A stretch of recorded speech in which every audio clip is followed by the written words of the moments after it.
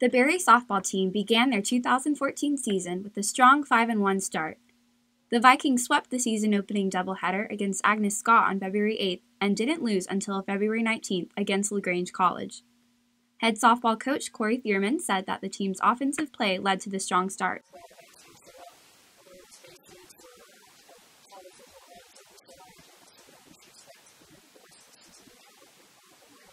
The young team of 11 freshmen and 8 upperclassmen gained momentum with the early wins.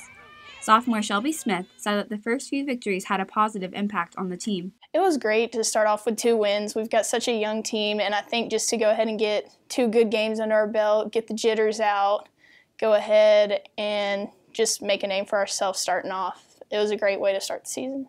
Having a string of double headers in their schedule provided the team with chances for quick victories. Senior Andrea Cole described the feeling of having multiple wins against the same opponent. It feels great anytime that we can get wins, and especially to stack them on top of each other.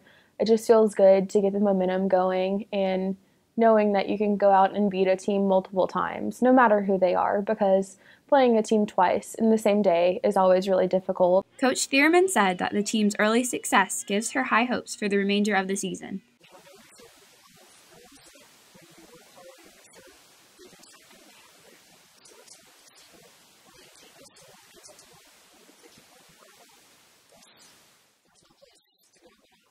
With Viking Fusion Sports, I'm Emily Burrows.